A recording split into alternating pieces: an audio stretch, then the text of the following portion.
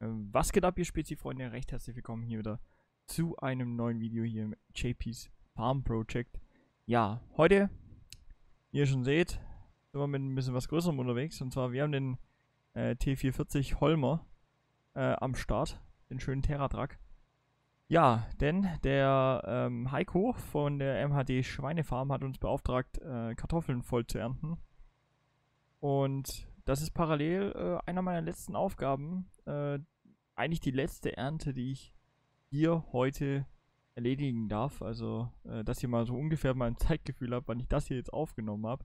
Ist, heute ist der 14.05.2020, 2.04 Uhr. Wir haben eine richtig beschissene Ernte, eine sehr stressige Ernte hinter uns und ähm,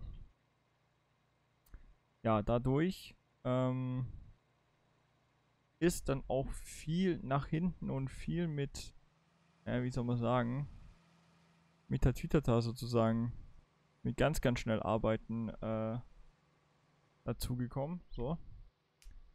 Und ja, wie soll ich sagen, für mich endet die Saison. Ich habe jetzt noch gerade alleine am heutigen Abend, also vorhin haben wir ja noch gestreamt, hier ähm, die Leitstelle Allgäu äh, vielleicht könnt ihr euch erinnern, das ist jetzt auch schon, ja, ich denke mal, bis das Video hier rauskommt, schon ein paar Tage noch her. Äh, vielleicht schon die eine oder andere Woche drüber. Ähm, ja, und heute habe ich insgesamt über 20 Hektar geerntet. Fast 30 Hektar äh, gedroschen. Dann habe ich ähm, ja, jetzt noch gleich ein, zwei Sachen. Das werdet ihr auch noch sehen im nächsten Video. Ähm, werden jetzt noch ein, zwei Videos kommen von der ja, Mitte Herbstsaison, also von, von dem heutigen Abend sozusagen. Und dann seid ihr mal wieder irgendwann aktuell äh, am Laufen. Denn, ähm, ja, wie soll ich sagen? Es kam alles unerwartet, es war alles nicht so geplant, wie es ist. Die Ernte war für mich sehr sportlich, denn wir haben jetzt Krankheitsfall gehabt. Der Schafi war zwischenzeitlich einfach zu Game Over, um noch irgendwie auf dem Server zu sein. Der Dealer äh, gibt auch nur sein Bestes und äh, hat ja auch äh, Probleme. Und ja, dann ist es oft an mir hängen geblieben. Ich hatte relativ Glück mit der Arbeit im Real Life, dass ich ähm, das eine oder andere frei hatte. Ähm, sonst wäre die Ernte vielleicht noch beschissener ausgegangen. Aber wir haben es geschafft. Ich glaube, jeder, also wir haben jetzt, glaube ich, noch fünf Felder, die wir runterdreschen müssen, die noch gar nicht reif sind. Ähm, wo man sozusagen jetzt in der Woche runtertrischt. Das ist aber nicht mehr meine Aufgabe. Für mich ist jetzt Feierabend mit der Ernte, wie ich habe jetzt, ich bin jetzt äh, fertig. Ja. Ich muss jetzt nur noch Ballen einführen und, ähm, oder ne, Ballen machen. Ja, Ballen machen und ähm, noch ein Feld mähen sowie das einsammeln. Aber das seht ihr im nächsten Video. Das kann ich euch jetzt schon versprechen. Ähm, entweder die Ballen oder die äh, Aktion, ähm, wie ich mähe, also ja nicht mähe, sondern ähm, wie ich schwadere und das Zeug einsammle, denke ich mal. Ähm, naja, auf jeden Fall, das passiert alles noch. Also das werde ich euch auch noch sagen, dass ihr ungefähr mal ein Zeitgefühl habt, wie, wo, was gerade eigentlich der Stand ist. Und ja, Ernte hat Spaß gemacht, muss ich sagen. War, war stressig, war für mich persönlich, wie ich auch schon in den letzten Videos gesagt habe, die Ernte, die ich noch nie so hatte, mit so viel Regen, äh, dass wir auf so einer hohen Feuchtigkeit ernten mussten, Sorgen haben mussten sozusagen, dass gar nichts vom Feld runterkommt. Ähm, abnormal.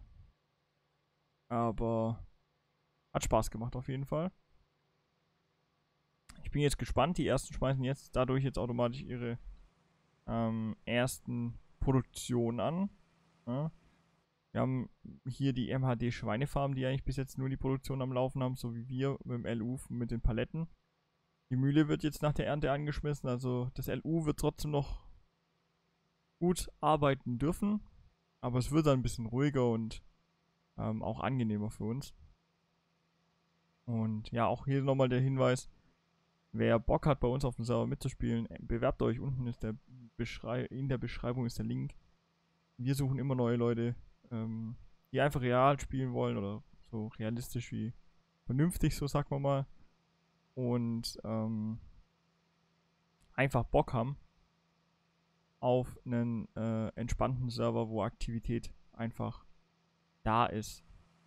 So, hier kraxeln wir jetzt mal schon mal hoch. Ähm, das ist nicht das Wahre, was ich eigentlich hier erwarte. Eigentlich wollte ich das Feld schnell runterhauen. Aber easy. Dann setzen wir mal neu ein oder fahren wir uns irgendwo an. Ja, jetzt gucken wir mal, ob wir hier noch irgendwie einen Halt bekommen. Ansonsten müssen wir das von der anderen Seite machen. Aber ja, das ist hier dieses Risikoloss. Also ich denke mal nicht, dass das nur für dieses Feld jetzt hier noch in Einsatz kommt. Ähm, das konnten wir uns leisten. Ihr wollt gar nicht wissen, wie viele Missionen hier Schafi und Dealer runtergefahren sind, um sich das Ding hier noch zu leisten, um das zu gewährleisten sozusagen, dass die Jungs hier ihre Kartoffeln ernten können. Und der Heiko hier, der hat hier ganz, ganz kleines Feld angebaut mit Kartoffeln und ich kann sagen, der expandiert jetzt auch schon morgen äh, noch. Er wird hier auch auf einem großen Schweinemastbetrieb sein und dann ist eh vorbei. Also da sind wir mit dem Ding dann ganz gut. Lassen wir das runterfahren, aber abnormal. Einfach abnormal. Naja. So. Jetzt gucken wir mal, dass wir hier... Also normalerweise erntet man nicht so. So wie ich weiß. Ich, ich kenne mich mit Kartoffeln sowie Rüben gar nicht eigentlich so au aus, wie man das richtig erntet. Macht man da ein Vorgewende? Schreibt mir in die Kommentare mal bitte. Ich glaube nicht. Ich glaube, da fährt man wirklich nach Reihe, ne? Ähm, also so wie gesät wurde. Ich schieße jetzt hier einfach drüber. Wie der deutsche Allmann, der keine Ahnung hat. Tada, das bin ich auch. Aber ich muss sagen, das Ding ist brutal. Ja, also, hatte noch nicht so viel Erfahrung mit, mit Kartoffelernte und sowas. Und auch im Real Life damit nicht. Ich habe bis jetzt im Real Life, glaube ein, zwei Mal so ein Kartoffelvollernter gesehen. Bei uns in der Gegend ist einfach nicht die perfekte Lage sozusagen dafür. Aber, naja. Dafür könnt ihr mir so vielleicht mal ein, zwei Sachen in die Kommis schreiben, äh, wo man dann eher sowas findet und wo man denn äh, oder wie sowas richtig denn genutzt wird. Weil ich glaube, also ich kann es mir nicht vorstellen, dass hier so ein ähm, so ein, ein, ein Vollernter hier ein Vorgewende fährt und und und. Ich denke mal, man fährt hier wirklich die Reihen ab. Und fertig hat sich die Sache. Aber ich merke hier einfach, wie er gerade kämpft. Ne? Ich fahre mich hier gerade einfach auch hart fest. Differentialsperren, Allrad ist alles schon drin, aber glaube, das Feld ist nicht so perfekt, zumindest nicht mit dem Vollernterjahr zu ernten. Müssen wir wissen, müssen wir uns aufschreiben äh, und, und, dem Heiko berichten. Ich glaube auch der Heiko sieht das Video hier. Ähm, aber das werden wir trotzdem tun. Denn das LU ist da schon sehr, sehr freundlich. Ja, ansonsten, ich glaube, ein Baby habt ihr gar nicht gesehen was wir Neuzugang haben äh, im, im Fahrzeugpool. Und zwar, wir haben den, den Tucano, mit dem wir die Sojabohnen ähm, gedroschen haben, verkauft. Haben noch die eine oder andere Mission gemacht. Die eine oder andere Mission mehr, sagen. Und haben noch den Lexion mit ähm, der Gummikette vorne gekauft. 12,5 Meter Arbeitsbreite. Uns war das einfach zu unsicher, das Ganze hier sozusagen zu ernten. Ähm, auf, auf der Basis hin, weil A, glaube, ich fahre viel zu schnell, so wie ich hier durchwackel, ne? Kann das sein, dass ich viel zu schnell fahre? Aussteigen war jetzt nicht die Lösung. Aber vielleicht muss ich nur so 8 km/h fahren. 8 km/h? Wackel ich nicht so. Ähm, ja, also auf der Lösung hin, weil wir mussten einfach jetzt Hektar. Also wenn ihr überlegt, 30 Hektar in wie viele Stunden? Wann habe ich angefangen? Wann habe ich aufgehört zu streamen? Gegen 21 Uhr habe ich aufgehört. 21.30 Uhr war ich dann wirklich am Start. Ja, 21.30 Uhr, jetzt ist 12 Uhr, äh, 2 Uhr 13 ist jetzt. ja, da habe ich gut runtergeschrubbt. Und ähm, ja, dann könnt ihr euch ja ungefähr vorstellen, wie lange ich gebraucht habe. Und das mit 12,5 Meter heute. Ja, schwierig. Aber das sind wir froh. Jetzt stellt euch mal vor, das hätte man nur mit einem Drescher machen müssen, mit dem 7 Meter Drescher sozusagen. Ähm, der hat für den Anfang sozusagen seine Dienste gut erfüllt. Aber ja, Server speichert mal rein. Ähm, ja, jetzt, äh, wenn es so auf ganz, ganz schnell sein muss, war das dann halt nichts, ne? Genau, aber nächstes Jahr wird wahrscheinlich ein kleinerer dann gekauft, keine zwei Lexions, sondern dann halt sozusagen, dass unser Plan ist, dass wir den Tucano wieder uns holen und der dann auch in die Vermietung geht. Bedeutet, wir haben es dann entspannter, weil dann auch die Jungs sich gut Deutsch sagt, die Sachen auch sich ein bisschen mehr mieten können. Der Sinn dahinter war einfach, dass das erste Jahr das LU einfach gut Deutsch alles aberntet, weil just in time arbeiten können. Ähm, denn man kennt ja manchmal seine Pappenheimer, da muss dann einer kurz offline, dann ist der aber noch nicht mit seinem Feld fertig und hat es noch nicht zurückgebracht. Dann muss der andere warten und das hätte jetzt einfach in der, äh, in der Erntesaison hätte das uns getötet sozusagen. So. Deswegen, also aktuell ist Stand der Dinge, dass wir noch 1, 2, ja, 5 Felder ungefähr abernten müssen. Ja, doch 5 müssten sein. Ähm, wir können ja mal gucken. Die 64, die 82, die 100, 101, 102. Und das war's. Ähm, genau. Und was dann wir noch durch Mission oder so abernten können, das ist dann sozusagen Boni für uns. Aber das ist gut Deutsch sagt wirklich, ich glaube gerade nicht machbar. Ne? Also Wetterbericht Hört sich gut an für die nächsten zwei Tage. Ja, aber die Kunden haben halt bestellt und wollen halt morgen schon wieder sozusagen fertig sein und weiter äh, ihre Produktion anschmeißen, sodass dann alles läuft. Und dass vor dem Winter eigentlich gut schon mehr Geld reinkommt. Was ja auch vernünftig ist und vielleicht dort der ein oder andere den Raps rausbringen. Dann haben wir auch zum Beispiel vom LU aus ähm, rausbringen lassen. Habt ihr ja mitbekommen, zum Beispiel, wo ich die, die Wiese gemacht habe. Genau, da hat der Timo ja parallel Raps gemacht. Ich hoffe mal, ich, ich, ich tue das wirklich alles in richtiger Reihenfolge abspielen, wie ich das aufgenommen habe, die Folgen. Aber sollte man hinbekommen haben. So. Ähm. Wir wackeln. Ich weiß nicht, ob das so gesund ist. Das ist doch nicht gesund, oder?